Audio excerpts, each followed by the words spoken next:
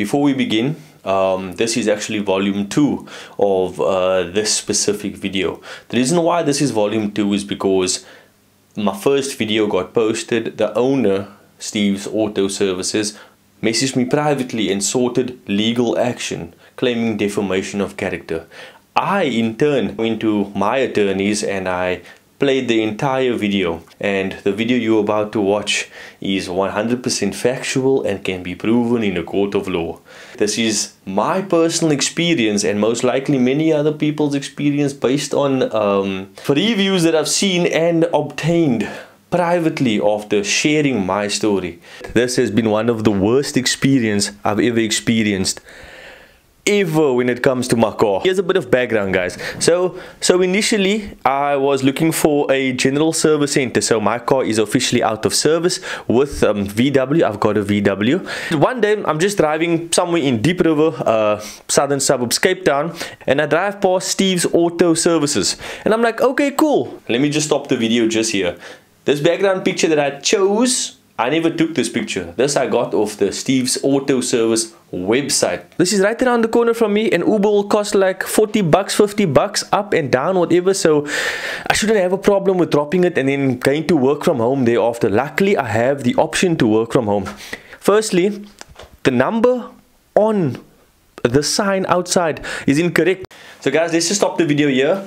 This number that I called, no one answered. Matter of fact, it didn't even ring there's a landline. Then you go to the to google to see uh, what the actual number is. It's a completely different number. That already gave me a red flag. Cool. Number two is i asked like cool hey guys do you guys do services? The communication is purely via whatsapp. Next thing you know i get a a response a few moments, hours later, whatever. Hi there, Sherwin, blah, blah, blah. Yes, we do services. The major service will cost like 3,000 something bucks for the major service. Bear in mind, I never had an issue with my car before taking it to Steve's Auto Services. Um, so I went there with a car that was working perfectly fine, and that's the beginning of this horrendous nightmare. I'm like, cool, Steve, how much would it be for um, a, a, a timing belt change? He says, now it's like 6,800 and something. And I'm like, cool, you know, I've been saving up. I want my car to be solid because my car's paid off and I want to, you know, make sure that it's in working condition smoothly. No small things creeping up and, and, and. Anyway, cool. I asked him for the aircon regas and the total bill comes to 11,080 Rand. Forking out 11,080 Rand just like that, it's, it you know, it, it does a little bit of, you know, it's it, it's a big amount. It's a big amount for the average Joe. Anyway, I'm like, now you know, cool. I'm a responsible guy. Let's do it. Let's let, let's go. Perfect. I, I, I take my car in. I'm immediately greeted with um, Steve himself walking through the shop, helping, assisting. I was like, okay, cool, that's nice, man. I like when the owner gets involved as well. And um, what I noticed was they didn't give me an ETA immediately. Um, as soon as I walked in, the guys look flustered. They look like they're just like, they, they, they, they super busy. Everything is just zooming fast. It's just, the, you know, it's, it's all over the place. I'm like, cool, it's good. So this means they're, they're reputable, they're busy, they got people coming in and out, and, and, and. I drop my keys off. Um, immediately, I'm like, cool, normal all the other places I've ever taken my car to, Volkswagen, um, uh, um, another privately owned company the year before, they all say, listen, dude, do you need a lift home? They never did this. I still made a joke. I'm like, ah, cool, I guess I'll Uber. He's like, yeah, yeah, yeah, no, no, no. Back in the day, you know, you had to walk. I'm like, check this guy out. Perfect. I'm chilling at home. Drop my car at 8, mind you. And 8 goes by, 10, 11, 12, 2, four. Now I'm like, cool, I never got an ETA. How long is this going to take? So I reached out to them, the same number that I got the WhatsApp from. Um, I reached out to them and they're like, yeah, no, sorry, man. Uh, we have to uh, keep the car overnight and, and, and.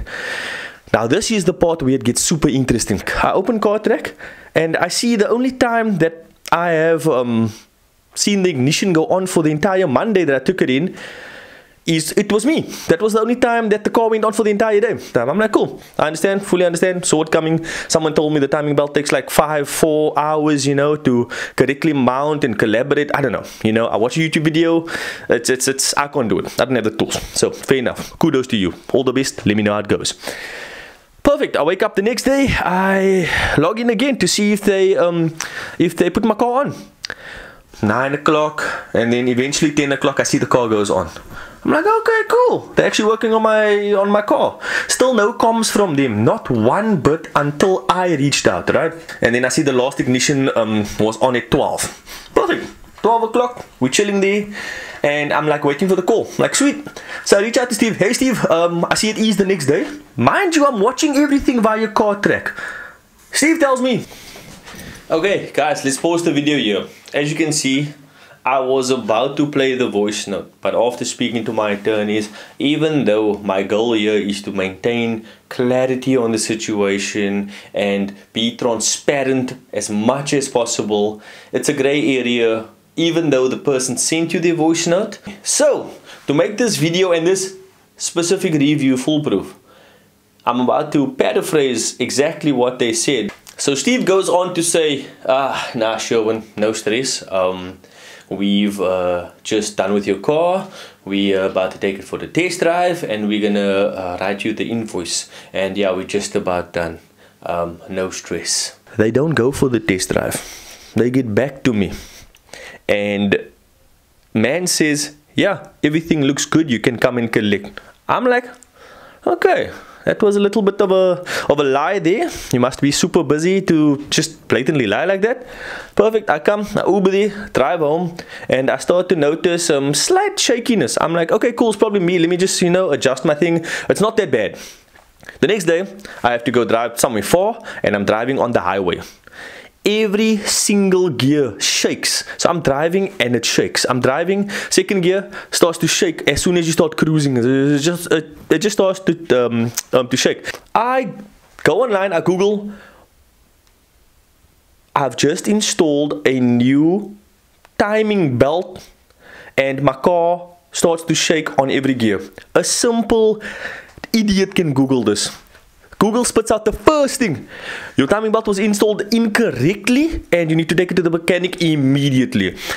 Symptoms could cause your piston to hit your valves if the timing belt is not correctly installed. And I'm like, what? I'm driving a hundred on the highway.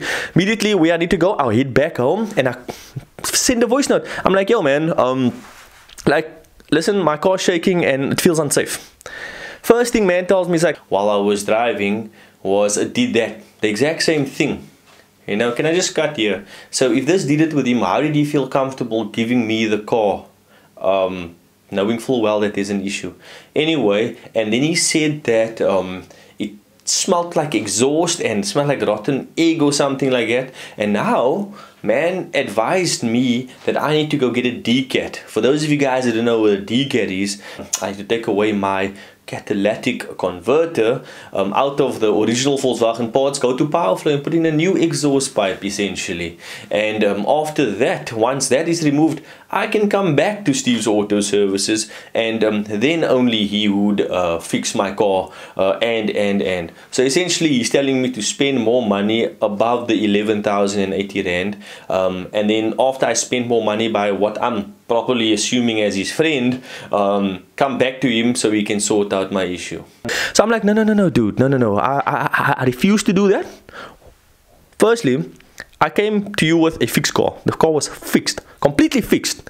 And now you're telling me I must, I must replace the exhaust after you change the timing belt. I'm like, no, man, look, I'm trying to put two and two together here. This doesn't make sense at all.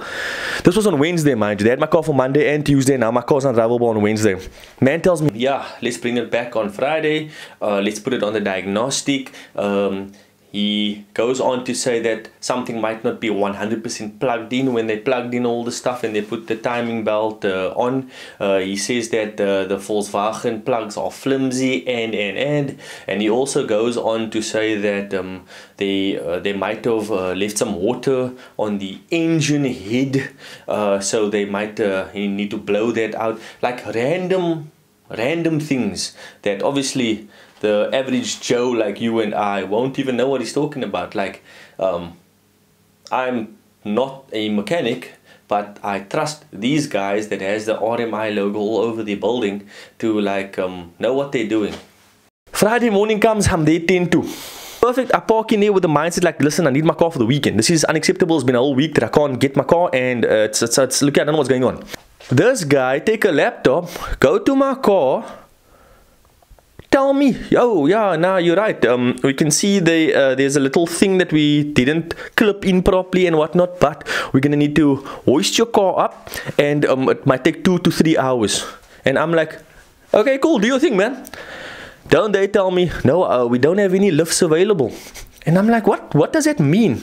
He's like, no, look here. Um, all these cars that you see around you is, uh, it's it's waiting for parts, and we I can't I can't move them.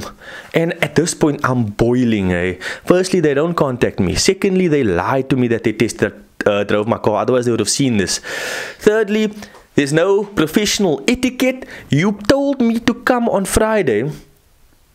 So if you didn't find an issue, you didn't have to fix my car, right? But you found an issue and you had no time or no space available to fix my car. So now automatically it's like, what is going on here?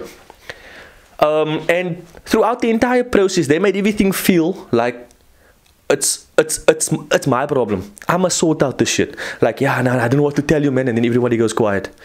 Like, there's no backup plan. These people don't have a backup plan. They don't even have list home. Look here, at this point, I paid my 11,080 rand. So now this is post service, you know, post payment service. You know, after you pay, what's the service like? Anyway. So now I can I'm starting to feel like an annoying client now I'm, I'm, I'm at this point I'm already like do I even want to take my car back to these people? So I asked them listen if I go somewhere else how much would this cost? They're like now nah, upwards of 3000 and but now nah, bring it back to us man. You know we can we can sort out this problem. We just need to um um I don't know what, what, what mechanical jargon. So I'm thinking to myself you know what? No fine. I'll bring it to you on Monday because this is what uh, when they asked me to bring it. Monday comes Day seven of not having a car. Monday comes, I'm driving this shaky ass car to this place. Every time I drive this car to this place, it feels like it's gonna break. One thing I noticed on Monday was that they put this nonsense at the back and they took off my the place that I serviced it last and they put their nonsense on there and the car's not it, it's in worse condition Yo, I was so pissed eh not the point um so I get there Monday Man tells me, okay, cool, pull in here on this lift. Come, come, come, pull in on this lift here. Man tells me, I'm showing we have a problem here. I'm like, at this point, I'm like, like, like, have you ever been so pissed that you just start laughing? Like, you can't understand what the fuck's going on. Man says, uh, yeah, we have load shedding from 8 till 10, so we can only actually start working on the car at 10. And I'm like, okay, I guess I'm not waiting here. Let me go home. Now I'm chilling at home here and I won't tell you a word of a lie. I am, I'm solidly anxious now. I'm like, nah, man. Did I leave my car in the hands of these people? Like, what? Like, like, what if they're taking out original parts and putting in like, you know, like fake Chinese parts or some nonsense like that? Guys, let me just intervene here. This is speculation. Uh, it's not an accusation. I'm not accusing them of doing it. I'm just speculating. At this point, like I said, I'm a bit anxious. So this is what's going through my mind. 10 o'clock, 11 o'clock, 12 o'clock, 1 o'clock. Things are just, they're not communicating with me. They don't tell me if they started. It's four hours. You see this takes just job takes two hours. Your, your shop is empty. I was there. Oh yes, at this point I, I told um man that listen on Friday, on, on the Friday before, listen, I have Cartrack. I can see that you never test drove my car and and the man after lying to me on Tuesday yeah no, no test drove it you can come get it on Friday he's like no but Sherwin I don't have to always test drive the cars and I'm like before I continue these people are RMI approved so the second value in the RMI is integrity and honesty and all that nonsense. Firstly, these people lied. Fast forward to Monday, I'm waiting for my car. Once again, I reach out. I'm like, Yo, Steve. Um, do you have perhaps um have a ETA on like you know how um how are we looking? I see my car hasn't started uh, all morning since the time I left it there. Man tells me. So once again, in the spirit of not uh, using someone else's voice notes, he goes on to tell me that um, hey Sherwin, after once again, I got um I reached out first and uh, he goes on to tell me that one of his uh, components of his timing uh, toolkit has broken so on my car obviously whose car is gonna break on right at this point everything's gonna happen on my car and uh, that he will have the car ready by the end of the day two o'clock three o'clock Four o'clock, two hours later. Mind you, we have one hour left in the business day. I asked him, yo, are you still um, gonna hold to your promise and, uh, you know, deliver, um, be done with the car by the end of the day? Man messages me, tells me, Sherwin, we are currently busy with your vehicle in a condescending tone. Uh, just relax, my friend. I'll let Sherwin take it away after this. I'm like, relax. I'm like, buddy, I haven't been without the car for seven days. I have work and shit I need to do. And you have the nerve to tell me relax after knowing full well what you've shown me for this entire week.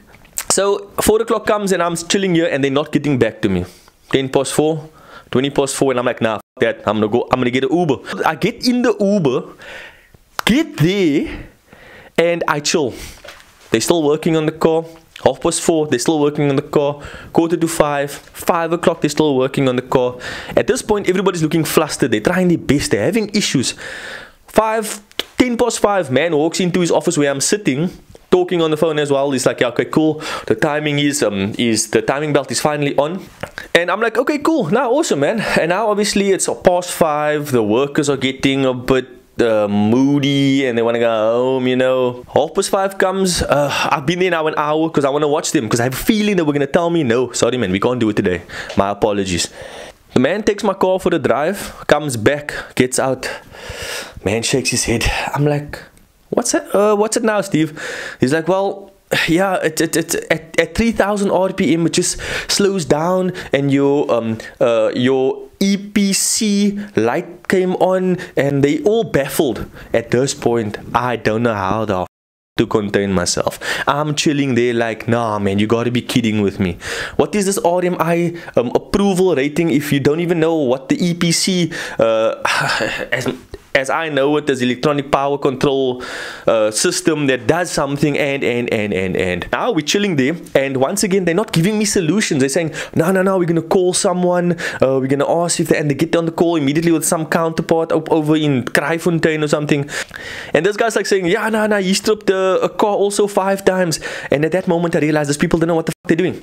They stood there and I'm asking like, cool, what now? And the man says, nah, look here, we're to contact uh, this person, that person, and I will get back to you. I will get back to you. I told him, nah, dude, look here, um, I'm to take this to Volkswagen, and uh, cost-wise, we're not there yet, but I must now go pay the actual dealer to fix this guy's problems. I will rather pay Volkswagen like another 10,000 Rand to properly fix my car than go back to that place. I do not recommend these services. Two weeks later. So the Monday, I um I get my call from Steve's Auto Services. Steve told me, listen, they would get back to me. Uh, they're just gonna ask a few friends or connections here and there on like uh, you know what the issue is, why the EPC light has now come on, right? I let the weeks go by. I wait. Tuesday, Wednesday, Thursday. But I don't just wait the very next day, I call Volkswagen and I tell Volkswagen, hey Volkswagen, I'm just joking. I never said it in that way. I'm like, yo guys, my EPC light came on. Um, is there any way I can book my car in for like um, a check-in and uh, confirm like like what's happening? So I don't tell them what previously happened with Steve's Auto Services and the timing belt uh, mishap and and and I just tell them my EPC light came on. Anyway, they told me, look here, uh, sir, the only time we have available is 10 days after I called. You know, so it's the next week, Thursday. Anyway, um, I'm like, okay, cool. My car can drive, it just doesn't have power to go over 3000 revs. So Steve fitted the timing belt properly, but for some reason, my left light doesn't work and my EPC light is on. Cool. Eventually, uh, Thursday comes. I take it to Volkswagen. I check it in, greeted with the utmost professionality, if that is even a word. And uh, I check my car in. Cool. Um, the lady told me they'll be in contact. The same day, they in contact. I see that they have switched on my car numerous times during the day, actually every hour upon the hour. And um, ultimately, they came back and told me there's something wrong with my timing uh, correlation my timing correlation? Yeah. I did anyway not the point. That was the issue and i was quite impressed because i never told them anything about my timing belt. They said listen unfortunately this is a job where they're gonna have to strip the side of the engine open or the you know and uh, fix what they need to fix and uh, the car's gonna have to stay overnight. And it's looking to be 2300 rand at this point. point and i'm like you know what? No okay cool. It's not 10000 rand. Like i said like i would be willing to pay the next day come and uh, they told me, cool, car's done. And uh, to fix the light bulb, it's another 600 bucks. I go to Volkswagen, car's in mint condition. It's driving back to normal. There's no power restriction. And um, I pay my 3K. On day 14, I wait the morning and I'm like, cool, I'm to message him this message. I'm to put it on the screen. I'm to put it on the screen and you guys can pause this video to read the message. After that message, Steve says that uh, cool, he wants a picture of like the, the, the invoice that Volkswagen sent me. I told him, listen, it's just fair that you reimburse me with not the whole six eight because I know you know my car was there for like three times and there's manpower needs to be paid, but just reimburse me for the amount of money that I spent to fix your problem.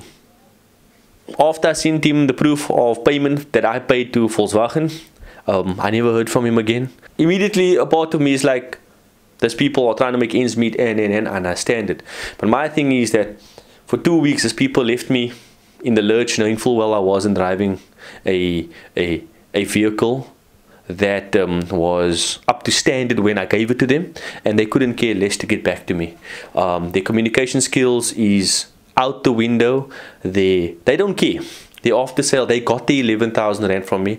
And right now I'm just that annoying customer like I told you guys before. I'm at that I'm at the annoying person that yo can this guy just go away? And uh, up until the very end whether it be the timing belt um, toolkit that uh, broke whether it be the phase to uh, the phase 3 lifts that wasn't available on the Friday that I went, whether it be the load shedding that happened when I was there waiting for my car, whether it be the EPC light coming on and they couldn't understand what was going on. They never had a backup plan. They didn't know what they were doing and they legit wanted to get rid of me to a point where I didn't want to take my car back there.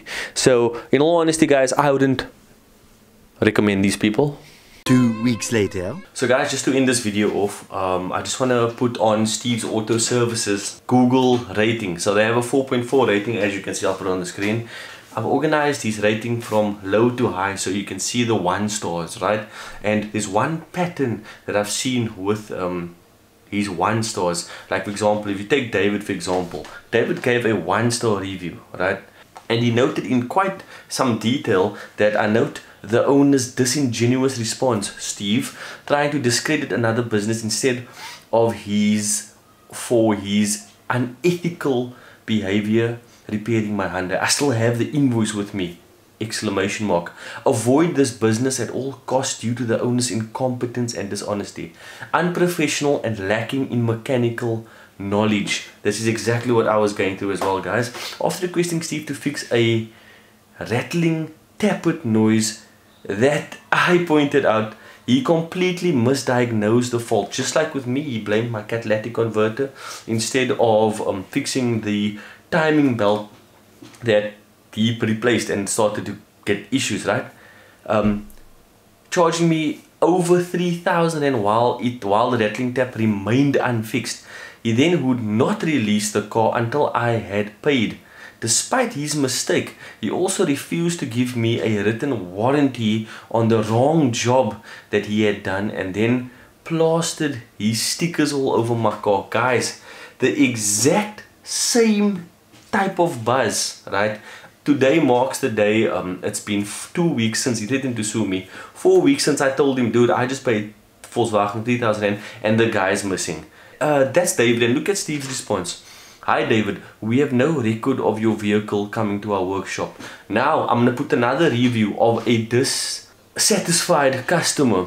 Andre for example, a serviced establishment that services their own needs and not that of the clients. Don't waste your money with inexperienced people. Second person to say that this person has no experience.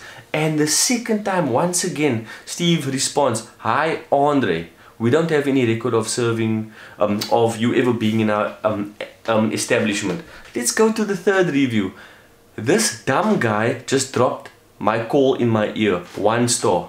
Once again, Darwin, please tell me more. We don't recall ever dealing with you.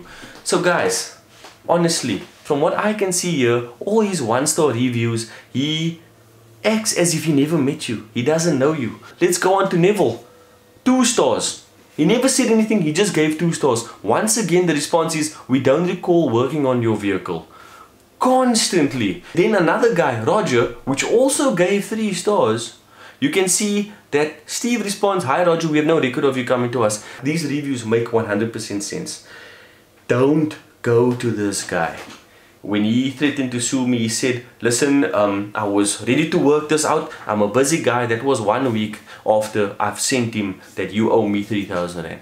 At the end of the day, he was never going to work it out. He's just a scalamo that is he, he he doesn't get back to you once he messes up your car and the final words that I have is don't take your car to Steve's auto service it's not worth it you will probably have parts missing. You'll probably have your EPC light coming on. And because he doesn't know what the f he is doing he, he's just gonna let you go to Volkswagen and fix your car somewhere else.